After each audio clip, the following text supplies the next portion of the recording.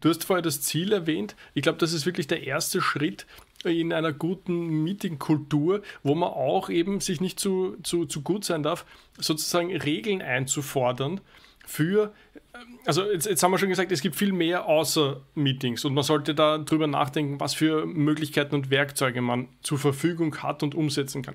Wenn man aber ins Meeting geht und der Meinung ist, okay, das braucht an dieser Stelle ein Meeting, dann würde ich dafür plädieren, dem ein paar Regeln zu geben und die aufzusetzen. Und der erste ist, du kannst nicht einfach ein Meeting einrufen, ohne dass dieses Ding ein Ziel vor Augen hat und eine Agenda ja. dahinter liegt. Ja, es ist einfach eine Frechheit von Leuten zu verlangen, in eine Besprechung hineinzugehen. Dort ist weder klar, da ist irgendein kryptischer Titel im Outlook deiner Wahl, ja, und, und dann nichts. Ja, und dann kommst du dort rein, alle sind unvorbereitet. Ja, große Überraschung. Ja, Wo, woher hätte ich mich denn vorbereiten sollen, wenn ich nicht weiß, was dort ist?